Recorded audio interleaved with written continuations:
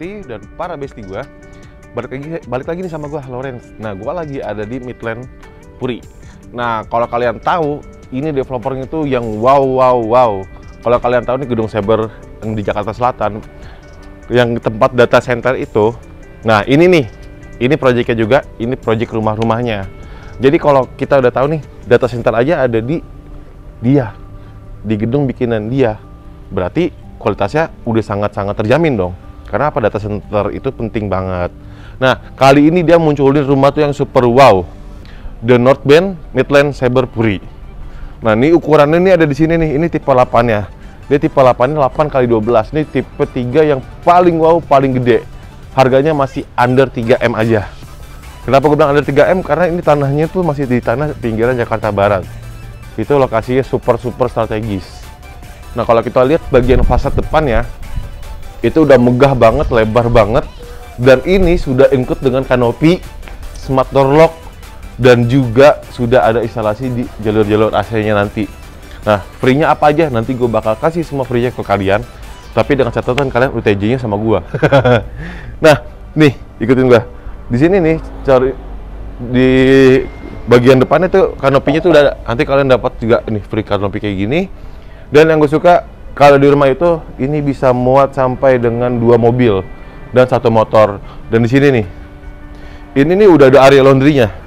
Nah, kalau di sini tuh udah dipasangin kayak gini nih, dicontohin.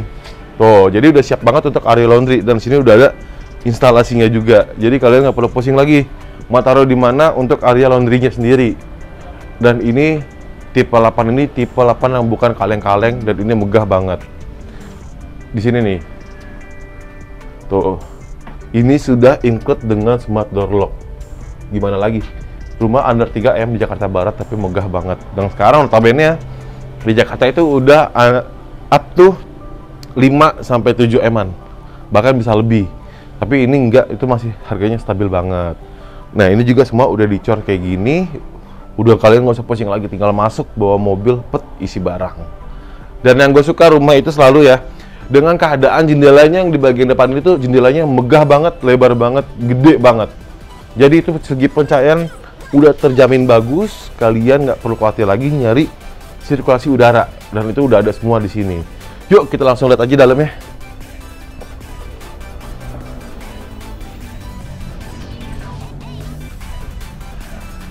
Nah ini untuk bagian dalamnya yang kayak tadi gue udah bilang semuanya udah dilengkapi dengan bukan semuanya jadi sudah digunakan smart door lock dan juga ada CCTV-nya nanti. Begitu kalian masuk kalian langsung ketemu area living room area living room ini tuh enak banget ya. Jadi tempatnya tuh kelihatannya megah, lebar banget karena ini tipe 8 kali 12. Nah, itu dilengkapi dengan segi pencahayaan yang bagus banget. Yang seperti gue jelasin di depan bagian ini nih udah dilengkapi jendela yang lebar sekali.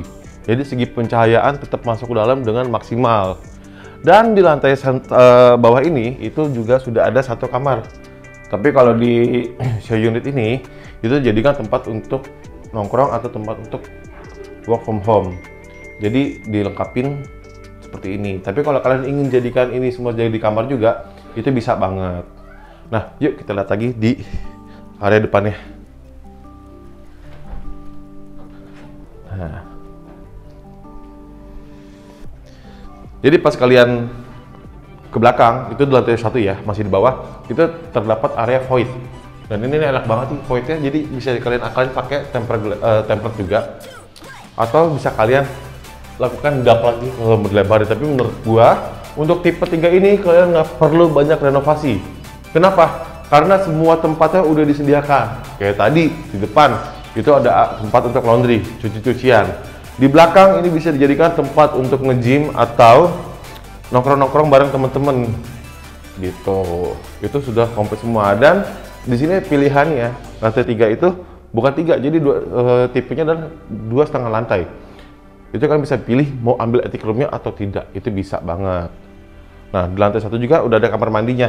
Tapi menurut gua dari sekian banyak rumah-rumah yang gua lihat kamar mandi di sini paling manusiawi paling gokil dan ini cukup lebar banget gede banget gitu jadi masih oke okay banget lah kalau untuk tamu nginep apa nginep mertua atau teman-teman itu masih ada kamar mandi yang cukup wow Dan di sini juga uh, udah ada area kitchennya. Ada kitchen itu enak banget.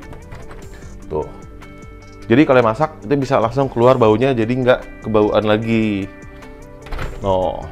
Tapi ini semua nggak include ya, semua nggak include. Nanti kalian suka uh, juga desain sendiri dengan suka-suka kalian. Ini nggak include ya, semuanya nggak include. Jadi nanti kalian dapat unit itu kosongan. Nah di sini area dining roomnya. Jadi kalian masak langsung makan di sini. Tah. Jadi sempit ya, tapi kalian bisa akalin nanti seperti apa desainnya. Kalian ketik sendiri lah, karena saya tahu lah para investor dan sobat properti punya ide-ide yang lebih gila, lebih bagus. Gitu.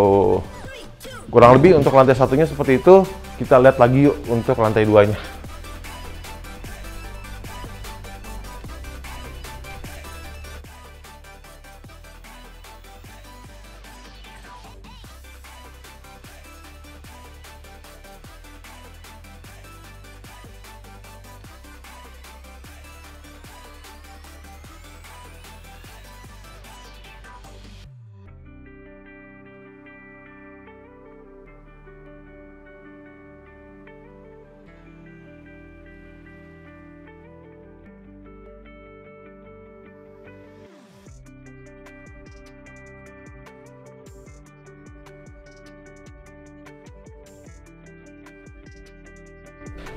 Dan ini lantai duanya, lantainya sudah menggunakan full HT. Itu jauh lebih baik, jauh lebih bagus daripada kalian menggunakan keramik. Jadi kalau lantai udah menggunakan HT itu, itu tahan sama baretan, jadi nggak gampang lecet. Nah ini untuk lantai duanya itu ada dua kamar tidur, dua bedroom. Dan ini kamar anak yang pertama. Jadi kamar anaknya ada di lantai dua juga.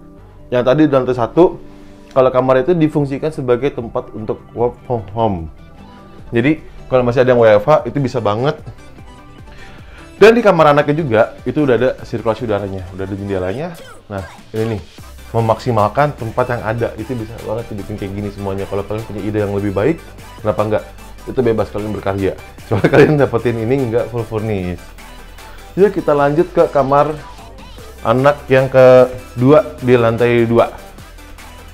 Jadi total keseluruhan di tipe 3 ini ada 4 bedroom. Ya, ada 4. Di lantai 2 ada 3, di lantai 1 ada 1. Dan ini lantai kamar anak yang kedua. Tetap ada sirkulasinya, uh, sirkulasinya itu gede juga. Dan kamar anak ini nggak kaleng-kaleng ya, nggak kecil ya. Nah, tapi nanti kalian pas setelah terima, itu lantainya nggak dapat seperti ini. Full HT semuanya. Kalau ini hanya aksesoris di uh, rumah contoh gitu ya standar lah kamar anak kurang lebih hampir sama semua ukurannya. Dan kita lihat nih yang paling unik di kamar utamanya. Nah ini untuk kamar utamanya kalau kalian masuk ke sini itu udah disambut dengan si jendela yang lebar banget yang megah banget dan segi pencahayaannya pun maksimal ke dalam nantinya. Dan di kamar utamanya ini lantai dua itu terdapat satu kamar mandi juga. Jadi kamar mandinya udah di dalam. Nih kamar mandinya tuh ada di bagian dalam dari si kamar utama. Gitu. Nah gue suka nih kalau di kamar utama eh kamar mandinya ini bisa dijadiin kayak gini nih. Bagus ya. Dan di sini juga semua udah dilengkapi dengan shower dan uh, sanitarinya by Toto itu bagus banget semuanya. Jadi tunggu apa lagi? Kalau di sini kan semuanya aksesnya mudah banget gampang banget ya Kalian nggak perlu pusing nyari yang lain-lain. Makanan ada Green Lake. Rumah sakit ada Mandaya. Pom bensin ada Sial, ada BP. Dan kalian mesti tahu di sini tuh banyak banget sekolahan-sekolahan lainnya. Dan di lantai duanya pun terdapat satu buah kamar mandi sharing. Nah, seperti ini nih. Di sini ada kamar mandi sharingnya, itu bisa buat anak-anak sekolah dan mandi nantinya. Jadi sebelum sekolah mandi dulu dong, nggak mungkin. Kalau kesiangan baru kabur. Kagak usah pakai mandi dulu. Yuk kita lihat lantai tiganya